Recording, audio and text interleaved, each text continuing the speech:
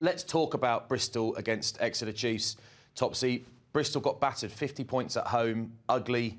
But how about those Chiefs? Oh, they were brilliant. It was borderline a complete performance, 9 out of 10s all round. And this week's take, we're just going to look at some clever attack for Jack Nowell's second try. It's just about working over the short side, making the same set of defenders tackle time after time after time. It led to a brilliant score. But what you're going to see as this clip unfolds is, after this breakdown, you're going to see Will Capon, you're going to see Callum Sheedy, and you're going to see Piers O'Connor. These guys are defending this whole set of play. They're getting worked time and time again. So there they are at this first phase. And Exeter just keep coming back to the short side. They just keep working them over because that's where the space. And when you look at attack, you know, you see a lot of attackers say spread the field. Here comes Piutau now. He's joining because he sees the threat. Sometimes the temptation is to play open.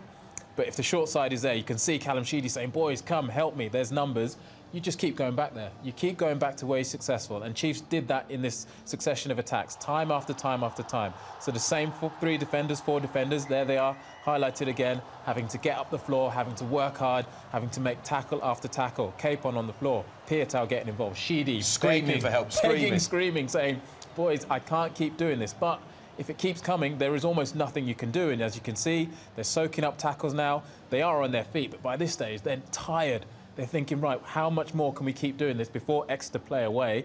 But the Chiefs are very clever. They say, no, no, we're going to keep coming time after time. And when they do, we highlight it here. They've got 10 players in that 15-metre channel, working over the same three or four defenders. Jack Nowell appears off his wing. Lovely stuff from start to finish and indicative of all the good work that Chiefs did. That was a brilliant try in what was a brilliant performance. I tell you what, well executed, but well coached. Yeah that, that's properly well coached. I watched that game start to finish, didn't see that. Well done, Topsy. I'm going to steal that.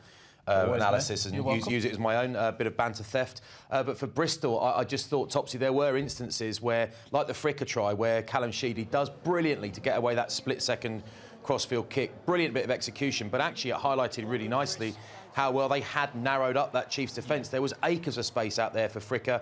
He could have he had a cup of tea and still scored. So they can do it, but actually it's difficult to do that repeatedly against the Chiefs because they're so powerful, so well drilled that they just this season are wearing wearing people down. Right, you stay here and eat some banana bread and a bit of flapjack. By the way, that's a little thing that we do. Don't know if we should tell people this or not, but yeah, when we're in home or away change rooms across the Premiership week after week, we like to sample the different teams' snacks. So thanks very much to the Sale Sharks management. I particularly like the flapjack. He liked banana bread. Overall, we're pretty keen on your snack situation. Right, you stay here. I'm going to take you all on one of the most famous walks in English rugby.